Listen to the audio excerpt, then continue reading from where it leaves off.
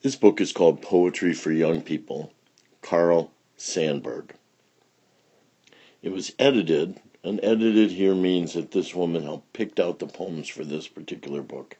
It was edited by Frances Schoonmaker Bolin, and the beautiful illustrations were drawn by the artist Steven Arcella. Carl Sandburg tries to paint pictures with his words. Steven Arcella painted the pictures with his brushes. If your name's Timothy and you live in Chicago, you probably already know that Carl Sandburg is very famous for being a poet from Chicago who wrote about Chicago and who loved Chicago. But he also was somebody who lived for 17 years in the state of Michigan. And if you're from Benton Harbor or St. Joe's or Coloma or New Buffalo, that's where Carl Sandburg lived in Berrien County, right on Lake Michigan, and he loved living there. It was only when his health um, wasn't very good and he needed to live somewhere warmer that he moved to North Carolina. But it's easy to find some information about him uh, being in Michigan, and that's a picture of his little office there in Berrien County, Michigan.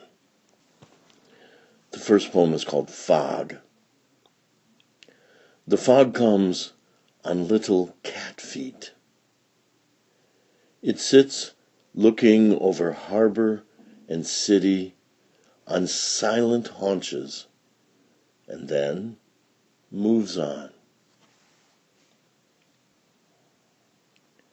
Second poem is called From the Shore. A lone gray bird, dim dipping, far flying, alone in the shadows and grandeurs and tumults of night and the sea and the stars and the storms. Out over the darkness it wavers and hovers. Out into the gloom it swings and batters. Out into the wind and the rain and the vast. Out into the pit of a great black world where fogs are at battle sky driven, sea blown, love of mist and rapture of flight, glories of chance and hazards of death, on its eager and palpitant wings, out into the deep of great dark world, beyond the long borders where foam and drift of the sundering waves are lost and gone, on the tides that plunger and rear and crumble. And because painters sometimes use fancy colors like cadmium yellow and cobalt blue, poets sometimes use fancy words that we don't hear very often. And poetry is meant to be read out loud, and it's meant to be read more than once. Uh, so for this one poem, let's read it more than once. We'll just read the other ones once, and you can go back over them if you find you love one or more of these poems but sometimes it helps to read a poem twice. So, from the shore. A lone gray bird, dim dipping, far flying, alone in the shadows and grandeurs and tumults of night and the sea and the stars and storms. Out over the darkness it wavers and hovers. Out into the gloom it swings and batters out into the wind and the rain and the vast, out into the pit of a great black world, where fogs are at battle, sky driven, sea blown, love of mist and rapture of flight, glories of chance and hazards of death on its eager and palpitant wings. Out into the deep of the great dark world, Beyond the long borders where foam and drift of the sundering waves are lost and gone on the tides that plunger and rear and crumble.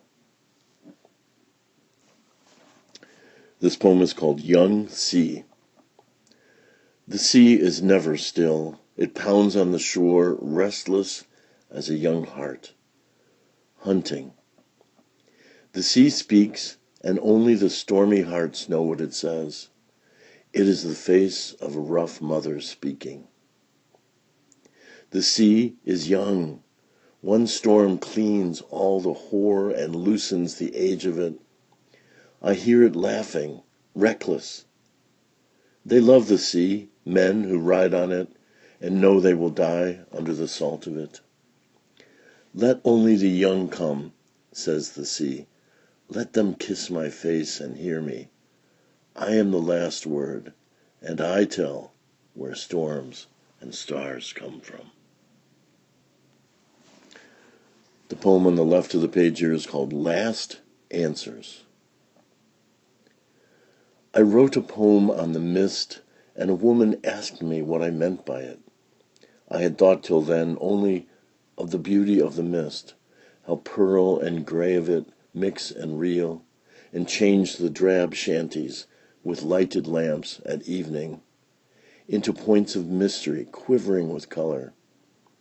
I answered, The whole world was mist once, long ago, and some day it will all go back to mist. Our skulls and lungs are more water than bone and tissue. And all poets love dust and mist because all the last answers go running back to dust and mist. The poem on the right is about that famous gigantic structure, statue, um, in the deserts of Egypt. It's called a sphinx. Close mouthed, you sat five thousand years and never let out a whisper. Processions came by, marchers, asking questions you answered with gray eyes never blinking, shut lips never talking. Not one croak of anything you know has come from your cat crouch of ages. I am one of those who know all you know, and I keep my questions. I know the answers you hold. Little girl, be careful what you say. Little girl, be careful what you say when you make talk with words, words, for words are made of syllables and are made of air, and air is so thin. Air is the breath of God. Air is finer than fire or mist, finer than water or moonlight, finer than spider webs in the moon, finer than water flowers in the morning. And words are strong, too, stronger than rocks or steel, stronger than corn, fish, cattle, and soft, too, soft as little pigeon eggs, soft as the music of hummingbird wings. So, little girl, when you speak greetings, when you tell jokes, make wishes or prayers, be careful. Be careless. Be careful what you wish to be. Second poem is a portrait poem called Margaret. Many birds and the beatings of wings make a flinging, reckless hum in the early morning at the rocks above the blue pool where the gray shadows swim lazy. In your blue eyes, O reckless child, I saw today many little wild wishes, eager as the great morning. Some of you can make numbers dance in your head, and when you look at the world, you're always thinking of an equation. This poem might just be for you. It's called Arithmetic. Arithmetic is where numbers fly like pigeons in and out of your head. Arithmetic tells you how many you lose or win if you know how many you had before you lost or won. Arithmetic is 7 11, all good children go to heaven, or 5 6 bundle of sticks. Arithmetic is numbers you squeeze from your head to your hand to your pencil to your paper till you get the answer. Arithmetic is where the answer is right and everything is nice, and you can look out of the window and see the blue sky. Or the answer is wrong and you have to start all over and try again and see how it comes out this time. If you take a number and double it and double it again and then double it a few more times, the number gets bigger and bigger and goes higher and higher. And only arithmetic can tell you what the number is when you decide to quit doubling. Arithmetic is where you have to multiply and you carry the multiplication table in your head and hope you won't lose it. If you have two animal crackers, one good and one bad, and you eat one, and a striped zebra with streaks all over him eats the other, how many animal crackers will you have if somebody offers you five, six, seven, and you say no, no, no, and you say nay, nay, nay, and you say nix, nix, nix? If you ask your mother for one fried egg for breakfast, and she gives you two fried eggs, and you eat both of them, who is better at arithmetic, you or your mother? The poem on the left is called Plowboy. After the last red sunset glimmer, black on the line of a low hill rise formed into moving shadows, I saw a plowboy and two horses lined against the gray, plowing in the dusk the last furrow. The turf had a gleam of brown and smell of soil, where, and, cool and moist, a haze of April. I shall remember you long, plowboy and horses against the sky and shadow. I shall remember you and the picture you made for me, turning the turf in the dusk and haze of an April gloaming. The title of a poem is like a doorway that lets you open it and walk inside the poem. And Carl Sandburg used in this next poem is a good one for us to think about for a second because it, it is an example of how words are used to mean as much as they can mean. If you think about sound, there are tones, and a single tone making one sound could be called a monotone. But if you think about the colors that an artist uses when she or he is painting, we talk about a monotone for shades of paint as well. And even just the way somebody talks, if they always sound the same way, we say that that's a monotone. So, monotone is the title of this next poem. The monotone of the rain is beautiful and the sudden rise and slow relapse of the long, multitudinous rain. The sun on the hills is beautiful, or captured sunset sea flung, bannered with fire and gold. A face I know is beautiful, with fire and gold of sky and sea, and the peace of a long, warm rain. Phizzog is a fancy slang word for face, and that's the title of this next poem, Phizzog. This face you got, this here phizzog you carry around, you never picked it out for yourself at all, at all, did you? This here phizzog, somebody handed it to you. Am I right? Somebody said, here's yours, now go see what you can do with it. Somebody slipped it to you and it was like a package marked no goods exchanged after being taken away. This face you've got. The next poem is called Mask. Fling your red scarf faster and faster, dancer. It is summer, and the sun loves a million green leaves, masses of green. Your red scarf flashes across them, calling and a calling. The silk and flare of it is a great soprano's leading a chorus, carried along in a rouse of voices reaching for the heart of the world. Your toes are singing to meet the song of your arms. Let the red scarf go swifter. Summer and the sun command you. three poems in a row that try to describe and comment on the natural world. Summer grass. Summer grass aches and whispers. It wants something. It calls and sings. It pours out wishes to the overhead stars. The rain hears. The rain answers. The rain is slow coming.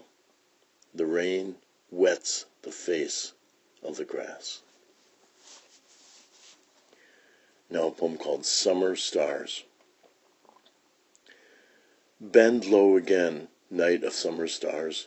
So near you are, sky of summer stars. So near, and a long armed man can pick off stars, pick off what he wants in the sky bowl. So near you are, summer stars. So near, strumming, strumming, so lazy and hum strumming. And the third poem is on the next page. Also a poem about nature called Sky Talk. Wool white horses and their heads sag and roll. Snow white sheep and their tails drag far.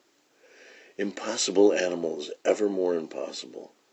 They walk on the sky to say, How do you do? Or, Goodbye. Or, back soon, maybe. Or would you say any white flowers come more lovely than certain white clouds? Or would you say any tall mountains beckon, rise, and beckon beyond certain tall walking clouds?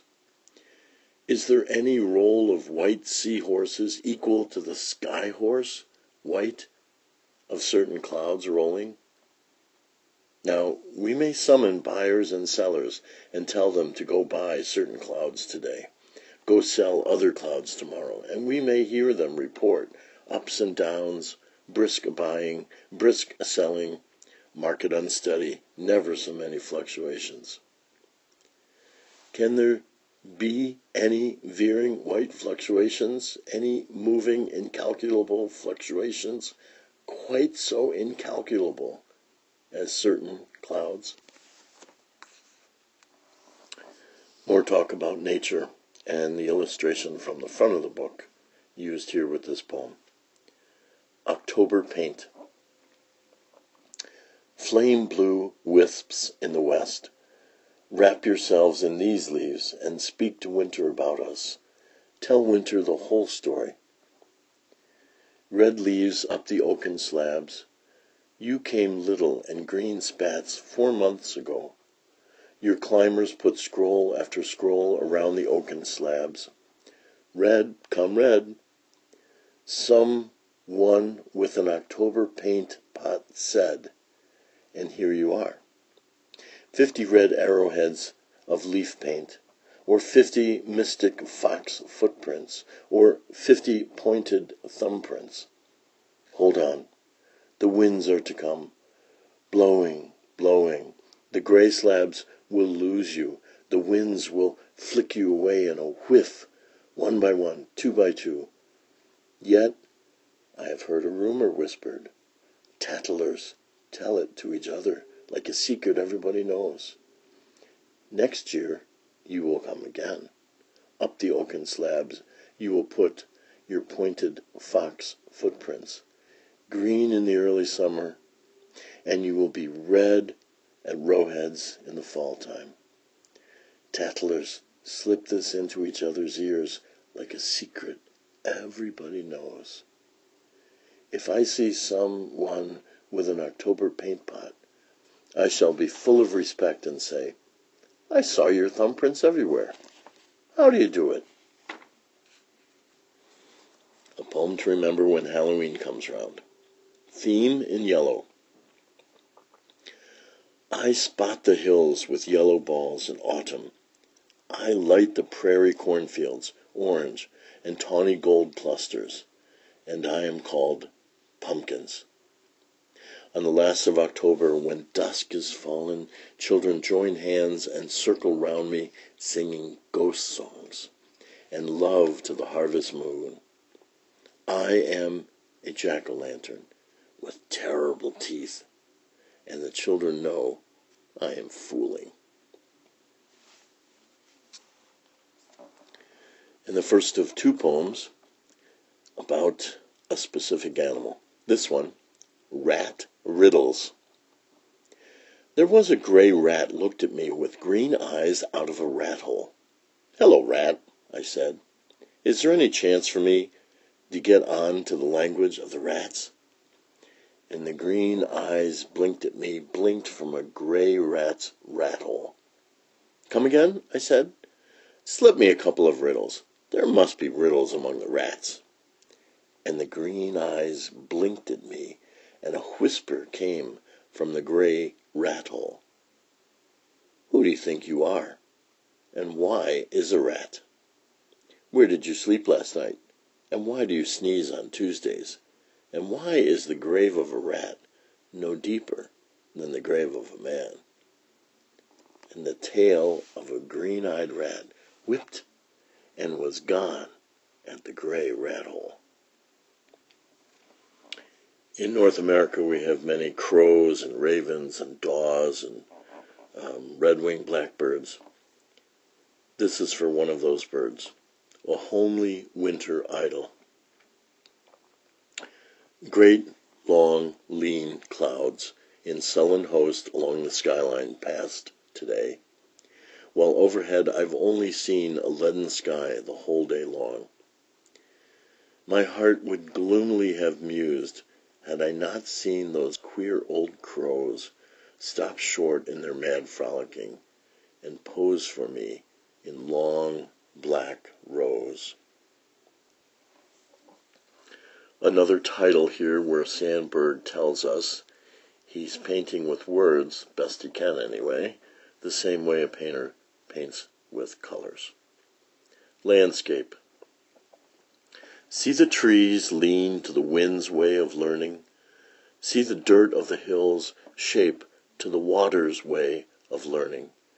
See the lift of it all go the way the biggest wind and the strongest water want it. Boxes and bags.